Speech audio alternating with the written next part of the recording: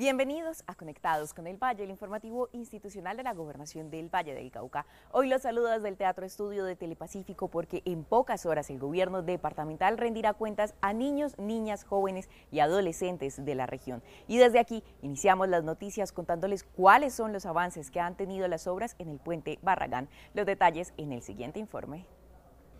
Tras una mesa técnica que se llevó a cabo con representantes del gobierno del Valle del Cauca, de las Contralorías del Valle y Quindío y autoridades departamentales y nacionales, se anunció que el puente de Barragán en Caicedonia no se cerrará y que por el contrario continuará normal el paso de vehículos livianos, por lo menos hasta que esté totalmente habilitado el puente del alambrado no se cierra el puente.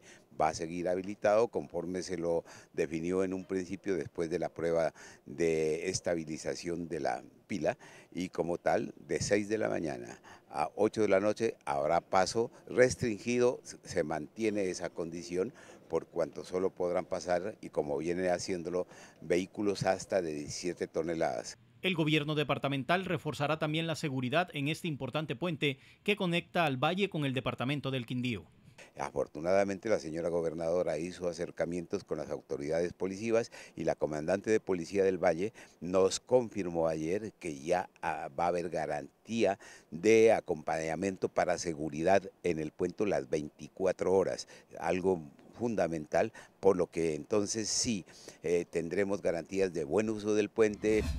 Seguimos con más noticias de nuestro Valle Invencible. El gobierno departamental activó la ruta de atención para familiares de personas dadas por desaparecidas con el propósito de ayudar a la búsqueda de quienes han sido víctimas de desaparición forzada. El anuncio se llevó a cabo durante la conmemoración del Día Mundial de los Desaparecidos. La gobernación del Valle del Cauca tiene establecida una ruta de personas dadas por desaparecidas donde se tiene el conocimiento del caso, se hace un acompañamiento psicosocial, pero no solo eso, buscamos darle tranquilidad a aquellas familias que puedan cerrar ese círculo y evidenciar dónde o cómo está su familiar. Si usted es familiar de alguna persona desaparecida, siga estos cuatro pasos de la ruta de atención. El primer paso es solicitar búsqueda inmediata, la cual permite la activación urgente de entidades como la Fiscalía Nacional y el Instituto Nacional de Medicina Legal. Paso seguido, se debe reportar la desaparición forzada a CIRDEC, plataforma en la que se registran los datos de personas desaparecidas. Se debe realizar la toma de muestra de ADN en el Instituto Nacional de Medicina Legal y realizar la declaración ante el Ministerio Público con el fin de iniciar el proceso de reparación administrativa. Los tres pasos restantes están a cargo de las autoridades y se tratan de definir las acciones para atender el caso, el plan de seguimiento y la preparación de los informes de verificación. Quienes necesiten hacer uso de esta ruta no tienen que esperar 24, 48 o 72 horas para hacer su denuncia y pueden comunicarse con la Fiscalía General de la Nación al 018 91 97 48 y desde el celular pueden marcar gratis al 122. Ya están los ganadores de la convocatoria departamental de estímulos 2023. Son 100 proyectos culturales y artísticos de 29 municipios los que se beneficiarán con recursos económicos que buscan impulsar sus iniciativas y talentos. Fueron elegidos en la convocatoria departamental de estímulos Cultura más Educación por un Valle Invencible 2023, los cuales fueron seleccionados entre 411 iniciativas inscritas, de las cuales 268 propuestas pasaron la revisión de la documentación. Los 100 proyectos elegidos recibirán cada uno 10 millones de pesos y se ejecutarán entre el 4 de septiembre al 24 de noviembre. Con estas convocatorias, el Valle Invencible sigue apostándole a la sostenibilidad del sector cultural. La gobernadora Clara Luz Roldán González continúa incentivando, fortaleciendo y visibilizando los procesos artísticos, patrimoniales y culturales que, se, que conservan la identidad cultural de nuestro Valle Invencible.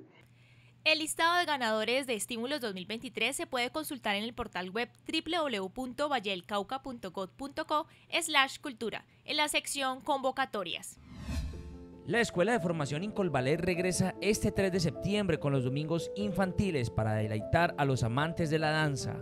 Las presentaciones estarán a cargo de los estudiantes de ballet clásico, danza contemporánea y promotores culturales con folclore. Más o menos un promedio de 80 niños estarán en este maravilloso escenario, deslumbrándonos con su arte, con su técnica y con sus conocimientos. De verdad, este es un formato maravilloso y exitoso, ya, ya probado para nosotros. Las familias están felices de ver a sus hijos sobre escena. Para eso estamos en esta institución, para que los niños pisen los escenarios de nuestro país y de verdad nos enorgullece tener esta presentación nuevamente de la mano del Teatro Municipal en su hermoso teatrino. La cita es en el Teatrino del Teatro Municipal este próximo 3 de septiembre a las 4 de la tarde y la boletería tendrá un costo de 15 mil pesos y se podrán adquirir en los puntos oficiales de Colboletos. Cuando se trabaja sin descanso por el progreso de una región y se lucha kilómetro a kilómetro por el bienestar de la sociedad, se forjan los propósitos y un espíritu que supera todas las dificultades. Conectados con el Valle. Valle Invencible. Las buenas noticias del departamento. Conéctese por Telepacífico de lunes a domingo a la 1 y 30 de la tarde, de lunes a viernes a las 9 de la noche y los fines de semana a las 8 y 30 de la noche. Hasta aquí nuestro informativo institucional. Recuerde seguirnos en nuestras redes sociales y consultar nuestra información oficial en la página web www.valledelcauca.gov.co. La invitación es a que se conecten a las 9 de la noche con nuestra segunda emisión. Feliz tarde.